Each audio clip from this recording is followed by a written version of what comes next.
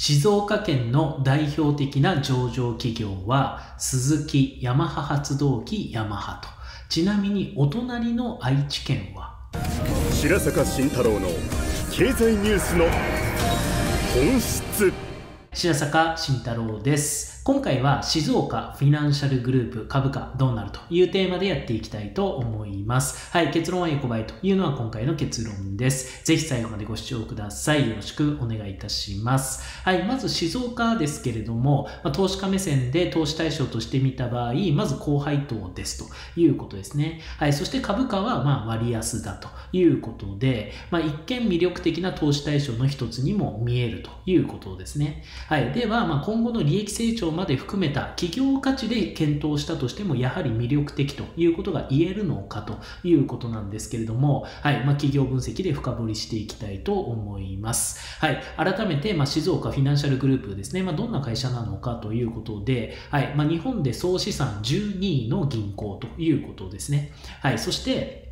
静岡フィナンシャルグループ、まあ、主力の子会社はもう静岡銀行ということです。はい。まあ、静岡銀行を中心に、あとはまあリースの会社とかですね、まあ、そういったグループになってますということです。はい。よって、まあ、静岡フィナンシャルグループっていうのは、まあ、静岡銀行を中心とした日本全国でまあ12位の金融機関ということですね。はい。ただ、まあ、静岡の利益のピークっていうのはいつだったかということなんですけど、はい。8年前の2015年が、まあ、今までの利益のピークということです。はい。で、なぜなのかと。まあ、8年間はっきり言ったら利益は伸びてないということで、まあ、理由っていうのを考えていきたいということなんですが、まあ、静岡の場合はですね、まあ、内部要因としての企業経営は、まあ、ほぼ最善の経営をしているというふうに今回は分析しています。はい。例えばですね、まあ、資金っていうのは最大限で貸し出し運用をしているということで、はい。預金12兆円プラスですね、まあ、日本銀行から借りてるお金1兆円、合わせて13兆と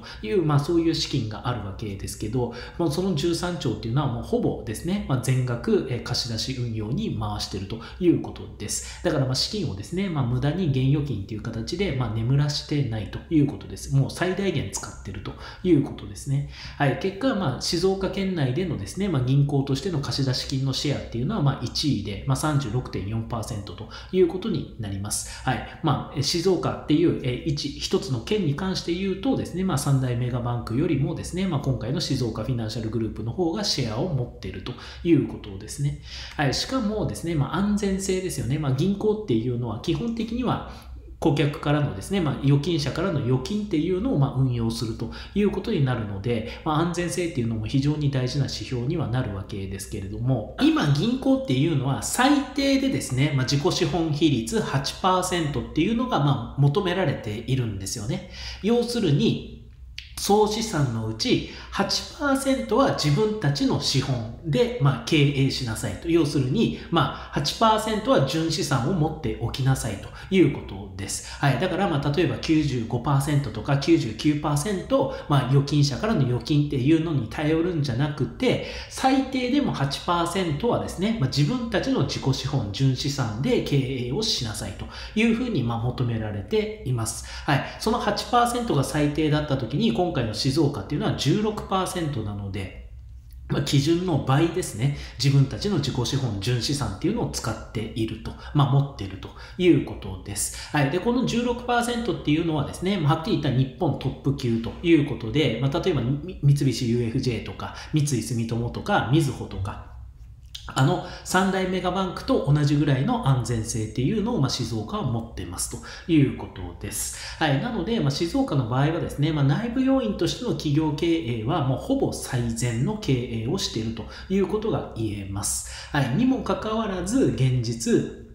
静岡フィナンシャルグループは伸びてないということであれば、もう理由はですね、もう外部要因しか考えられないということです。はい、内部の経営という形ではもうほぼ最善をやっ尽くしているということであれば、それでも伸びてないっていうんだったら、もうそれは静岡県という外部環境で伸びてないということですね。はい、で、まず外部環境ということなんですけど、静岡県のですね、まあ、県内総生産っていうのは横ばいということです。約、まあ、静岡県っていうのはですね、まあ、18兆円のまあ、経済圏ということですね。はい、ただ、まあ、静岡県の人口自体はですね、まあ、毎年計算で言うと年0.3%福利で減少し続けているということで、まあ、今から約18年前の2005年が379万人ですね。で、えー、直近で言うと、まあ、22年がまあ360万人を切った359万人台ということで、まあ、この18年間1年単位で0.3%福利で人口は減り続けてますと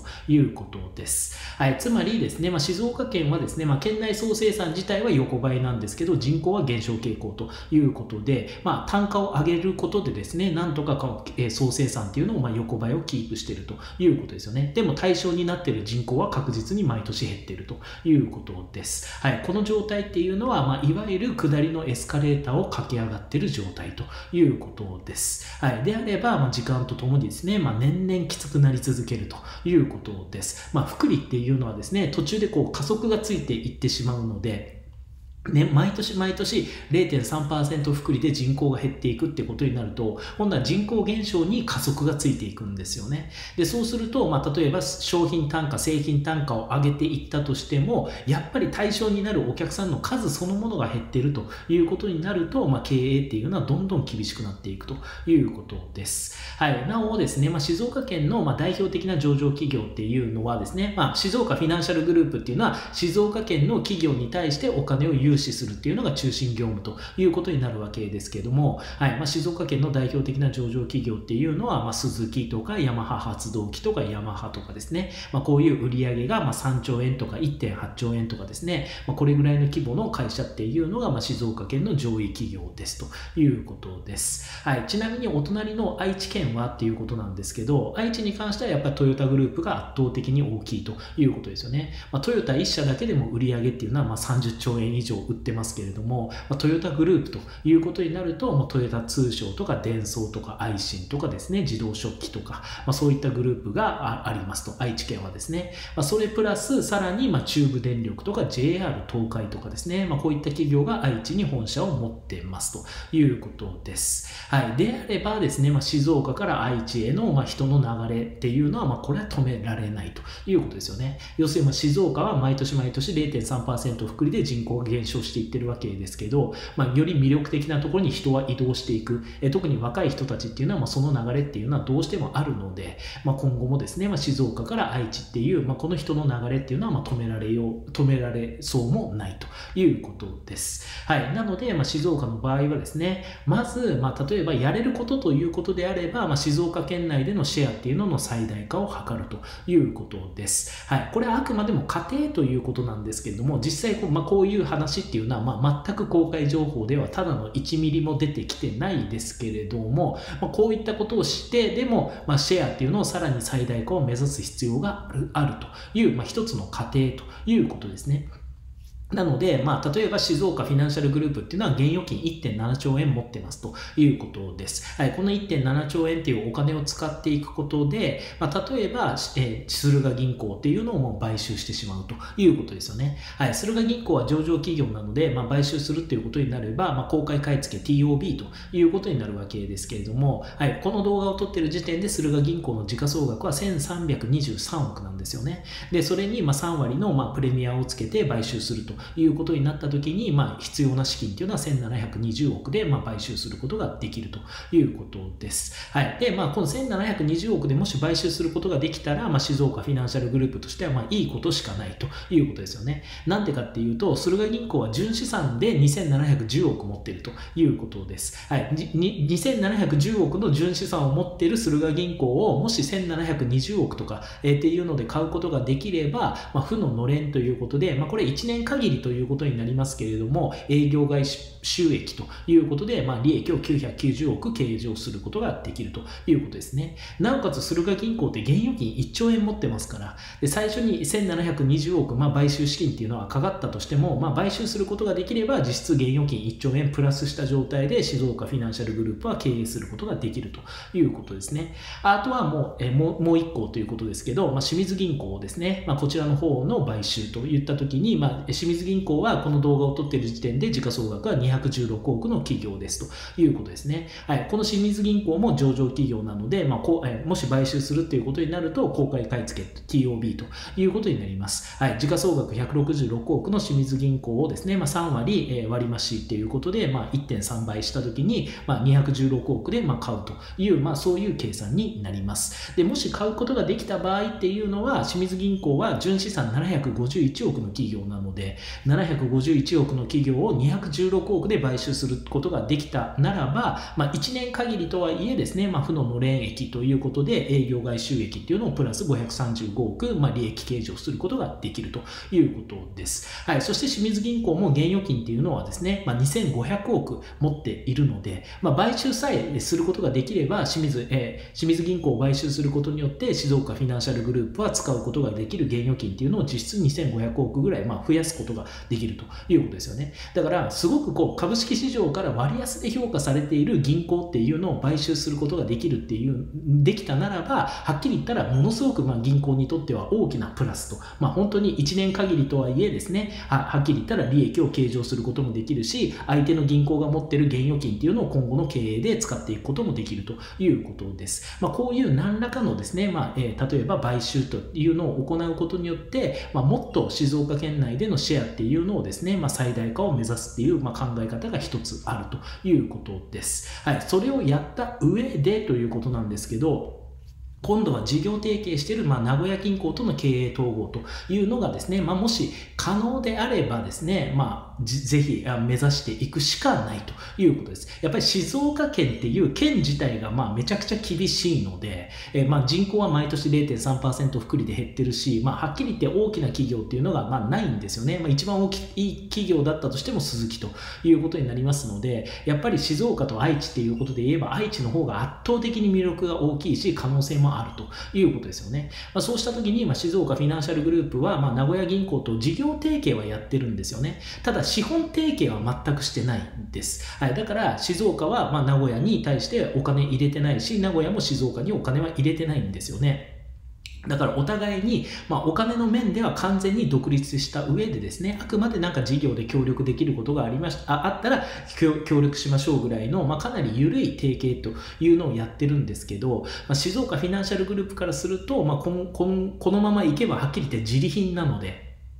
だったらやっぱり愛知に基盤を持っている名古屋銀行との経営統合っていうのを、ま、目指すしか、まあ、理論上はないというふうに考えられます。はい。まあ、そうなった時に、まあ、静岡フィナンシャルグループはこの動画を撮ってる時点で時価総額は6038億の企業ということですね。で、名古屋銀行に関しては561億ということなので、まあ、静岡の方が時価総額で見るだけ、時価総額だけで見るならば、まあ、圧倒的に大きい企業になってます。はい。そうした時に、まあ、一つ考えることができる、まあ、枠組みとしてはですね、まあ、静岡フィナンシャルグループと名古屋銀行を、まあ、両方をですね、まあ、子会社にするような形で、まあ、さらにその一つ上にですね、まあ、親会社、持ち株会社を作るという考え方ですね。だから、なんか一つ持ち株会社を作って、その下に静岡銀行と名古屋銀行っていうのを、まあ、子会社という形でぶら下げるという形です。で、単純に、まあ、時価総額だけで考えるならば、まあ、結局、名古屋銀行の株の価値が1、1静岡銀行の株が10ということで、まあ、10対1ということですよね。だから名古屋銀行の株10株と静岡銀行の株1株がま同じぐらいの価値ということです。まあ、そういう形でですね、まあ、何か、えー、共同の親会社っていうのを作って、で、静岡銀行と名古屋銀行をですね、まあ、その、えー共通で作った親会社、持ち株会社の下に、まあ、子会社っていう形でぶら下げて、えそれでまあ経営統合するっていう考え方ですね。まあ、こういったことでもしないと、まあ、やっぱり静岡フィナンシャルグループははっきり言って今後に利益成長っていうのはま望めないということです。はい。ちなみにですね、まあ、愛知県ですね、まあ、愛知、え今回は静岡なんですけど、まあ、中心っていうのは、もし愛知に進出するということになった場合は、じゃあ愛知はどういう状況なのかって言ったときに、愛知は実は三菱 UFJ が、え銀行としては1 1位ということです。はい。三菱 UFJ は47都道府県の中で2つですね、まあ、1位っていうのを持ってるんですね。1つが東京。で、もう1つがこの,、えこの愛知ということです。だから東京と愛知に関しては三菱 UFJ が全国1位ということなんですよね。まあ、逆に言えば残りの45っていうのは三菱 UFJ は1位を持ってないということなので、やっぱり日本っていうのは非常にもう地銀ですよね。地方銀行、地銀っていうのが非常にその県、その県では非常に強いという言い方もできます。はい。で、愛知に関しては三菱 UFJ が1位ということで、まあ、シェア20%ということですね。で、今回の静岡フィナンシャルグループと事業提携している名古屋銀行がシェア10.93%ということです。で、3位の愛知銀行と7位の中京銀行っていうのは、これはですね、まあ、はっきり言って経営統合してるんですよね。要するに愛知フィナンシャルグループの子会社愛知銀行と愛知フィナンシャルグループの子会社中京銀行ということで、これ合併してます。あまあ、合併というか経営統合してます。両方の共通の親会社っていうので、まあ、経営統合してるということですね。まあ、そうすると、愛知が、えーシェア8%で、中京がシェア4%ということなので、合わせて12%ということですから、愛知銀行、中京銀行が経営統合した愛知フィナンシャルグループは名古屋銀行よりもシェアが上回っているということになるわけですね。だから、まあ、グループっていう形で見ると、三菱 UFJ が1位で、愛知が2位で、名古屋はグループで見ると3位ということになります。で、そこに対して、まあ、もし静岡とですね、まあ、経営統合するということができたならば、まあ、もう一回愛知県で、まあ、三菱 UFJ に次いで2位ということになっていくということです。はい。なので、まあ、静岡をですね、まあ、一旦まとめていくと、ということで、まあ、静岡フィナンシャルグルグループっていうのは、静岡県のシェア1位の銀行で、まあ、経営に関してはすでに最善をもう実行しているということですよね。だから、まあ、例えば経営者とか経営陣が変わったとしても、正直この外部環境ではほとんど、まあ、改善することの余地っていうのがあんまり残ってないということです。はい。で、まあ、その静岡県という外部環境に関しては、これはもう年々厳しくなる一方ということですね。まあ、人口行の減少っていうのは複利が効くので、えマイナスの複利っていうのは途中で加速がついちゃうんですよね。うん、だから、まあ、結局少ない両親、少ない父母で、まあ、少ない子供が生まれてくるっていうのがずっと続いていくってことになると、途中から急激に人口っていうのがまあ減っていってしまうということで、まあ、はっきり言って年々厳しくなる一方ということです。だから何もしなければ、はっきり言ったら自利品ということですね。なので、まあ、静岡は、まあ、例えば、まあ、買収によってですね、まあ、駿河銀行とか清水銀行とかっていうのをもう買収して、まあ、さらにシェアを最大化を目指して拡大していくとか、もしくは、え、名古屋銀行と経営統合して愛知というですね、まあ、もっと可能性があるところにも、まあ、実際のまあ経営基盤というのを持つとか、まあ、そういったことでもしていかない限り、まあ、今後の利益成長というのはまあはっきり見通せないということです。はい、であれば静岡はですね、まあ、今後利益成長する見通しっていうのは、まあ、この動画を撮っている時点では全く見えないので、当然利益の合計金額である企業価値も上がらないということですね。であれば価値が上がらないんだったら時価株価も上がらないということです。はい、株式市場は短期では単なる人気投票期、しかし長期だと価値測定期ということで、はい、静岡今後の株価はですね、1131円近辺で横ばいというふうに予想します。はい。ということで、今回は静岡フィナンシャルグループ株価どうなるというテーマでやってきたんですけれども、結論は横ばいというのは今回の結論です。はい。そしてですね、最後に大事なお知らせを3点させてください。1点目ですけれども、はい。白坂のメルマガ登録特典ということで、株式投資で資産を10倍にする方法など特典動画を無料にてお受け取りいただくことができます。もし内容に興味関心があるという場合はですね、概要欄よりあなたのメールアドレスをご登録の上無料にてご視聴ください。はい、2点目ですけれども EV 戦争の覇者という動画ですね。はい、こちらの方はですね、まあ、今来ている大波 EV 電気自動車に関連して EV 戦争の覇者新動画版という、まあ、価値の高い動画講義をですね、まあ、無料にてお受け取りいただくことができます。います。もし内容に興味関心があるという場合はですね、概要欄よりあなたのメールアドレスをご登録の上無料にてご視聴ください。はい、そして3点目ですけれども、チャット GPT で10倍を狙うということですね。はい、今超話題の AI、チャット GPT に関連して、チャット GPT から10倍を狙う方法という価値の高い動画講義を無料にてお受け取りいただくことができます。もし内容に興味関心があるという場合は、概要欄よりあなたのメールアドレスをご登録の上無料にてご視聴聴ください。はい。あなたのとても貴重な時間にて動画を最後までご視聴くださり感謝しています。いつも本当にありがとうございます。こう